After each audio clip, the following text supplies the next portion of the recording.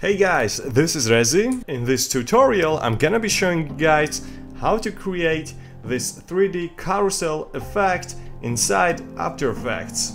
Okay, let's start by creating new composition.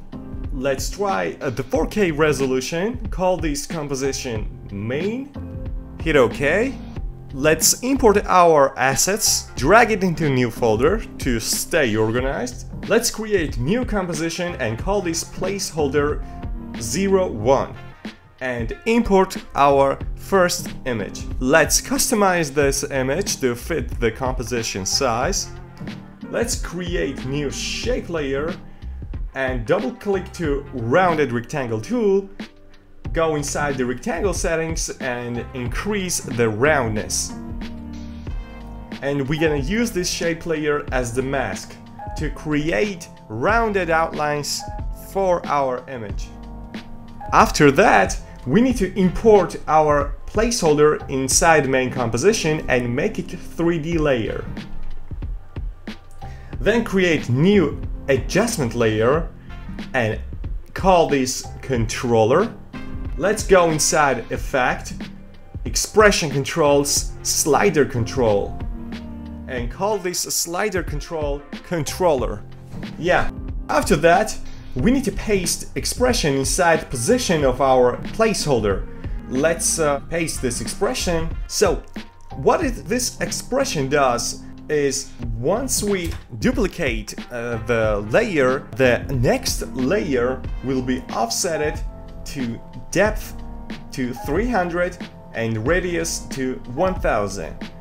And then once amount of the layers will hit the 6, it will create 360 degrees circle loop. But we need to make some few changes inside the expression. For example, the name of our composition. We need to type the same name we have of our layer composition.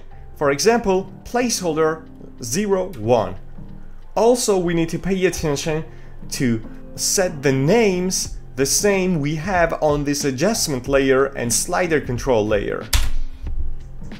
Let's adjust the radius amount uh, to 1500 and depth amount uh, 1200 just like this. And now we see we get some changes to our layer.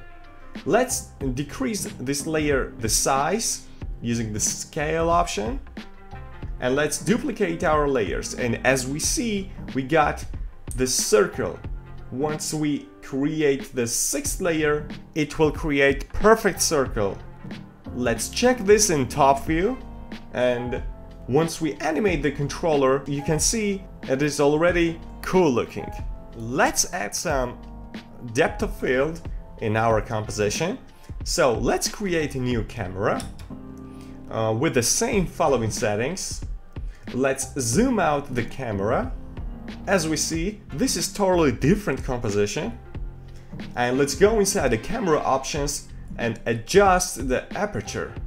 So, once the front image will be in front of the camera, it will be sharper and once it will fade in the background, it will make the blur kinda like the depth of field. Let's animate our controller using keyframes. Let's add the easy in, just like this. Let's uh, RAM preview, and we already got cool animation. Uh, we can uh, make it more interesting by adding the plugin called Deep Glow. Let's adjust inside the input. We increase the threshold and let's decrease the exposure to point 0.1. uh, select all other layers and paste the same glow effect to other layers. Let's duplicate our placeholder 1 if we want to replace to another image. Uh, in this placeholder 2, we replace another image and replace this placeholder 2 to our layer. We got 3D carousel effect super easy to use and super easy to customize. Thank you for watching this video tutorial, I hope you like it. Please like and subscribe to my channel for further updates. Thank you for watching. Bye.